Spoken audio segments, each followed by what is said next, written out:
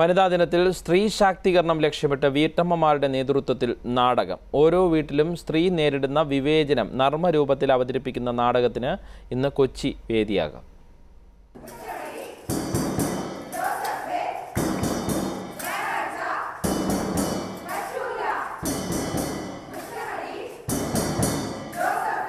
ഇത് ജോസഫിന്റെ കഥ അന്നയുടെയും കഥാകൃത്ത് ഗ്രേസിയുടെ ഈ ചെറുകഥയാണ് നാടകത്തിന്റെ മൂലാധാരം. പന്ത്രണ്ട് വീട്ടമ്മമാരും മൂന്ന് കുട്ടികളുമാണ് നാടകത്തിന് മുന്നിലും പിന്നിലും. ഒഴിവു ദിവസമായ ഞായറാഴ്ച വീട്ടുജോലി ഏറ്റെടുക്കുന്ന ഭർത്താവിന്റെ കഥയാണ് നാടകം. അഭിനയശേഷിക്കപ്പുറം സ്ത്രീകൾക്ക് ആത്മവിശ്വാസവും ഉൾക്കാഴ്ചയും രൂപപ്പെടുത്തുകയാണ് നാടകത്തിന്റെ ലക്ഷ്യം. ഇന്നലെ നന്നായിട്ട് കുടിച്ചു വന്നാണല്ലോ കിടന്നേ. അപ്പൊ തലവേദന ഉണ്ടാവും. ഒരു ചായ ഇട്ട് കുടിച്ച് അതൊക്കെ മാറും. നമുക്ക് അടുത്ത ആഴ്ച മുതൽ നമ്മൾ ഈ എഗ്രിമെന്റ് നമ്മൾ പാലിച്ചു.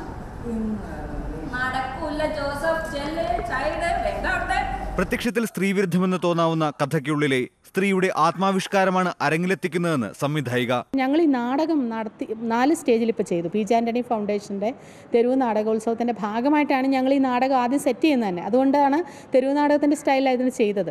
അപ്പോൾ ഞങ്ങൾ ഓരോ വേദികളിലും ഞങ്ങൾ ശ്രദ്ധിച്ചൊരു കാര്യമുണ്ട്. അമർത്തിച്ചിരിക്കുന്ന പുരുഷന്മാരെയും സന്തോഷത്തോടെ ചിരിക്കുന്ന സ്ത്രീകളെയും ഞങ്ങൾ അവിടെ കണ്ടു. എല്ലാവരുടെയും കുടുംബത്തിലുള്ള പ്രശ്നങ്ങൾ. ചിലപ്പോൾ ചില ജോസഫുമാരൊക്കെ അറിയാണ്ട് ചെയ്തു പോകുന്ന ചില കാര്യങ്ങളൊക്കെ ഇതിനകത്തുണ്ട്. ചിന്തിക്കാനുള്ള ഒരു ഒരു സ്പാർക്ക് ഒരു തീപ്പരി ഞങ്ങൾക്ക് കൊടുക്കാൻ പറ്റിയെന്ന് ഞങ്ങൾ വിശ്വസിക്കുന്നത്. അത് എക്കാലത്തും നമ്മൾ ഓരോ കാലഘട്ടത്തിനും അനുസരിച്ച് അത് മാറിക്കൊണ്ടിരിക്കും. ഒരു നീണ്ട കാലത്തെ ഒരു പ്രവർത്തനത്തിലൂടെ ഒരു തിരിച്ചറിവുണ്ടായിട്ട് സ്ത്രീയും പുരുഷനും അവകാശങ്ങളും അധികാരങ്ങളും എല്ലാം തുല്യമാകുന്ന ഒരു ലോകത്തെക്കുറിച്ചാണ് ഞങ്ങളുടെ ഒരു സ്വപ്നം.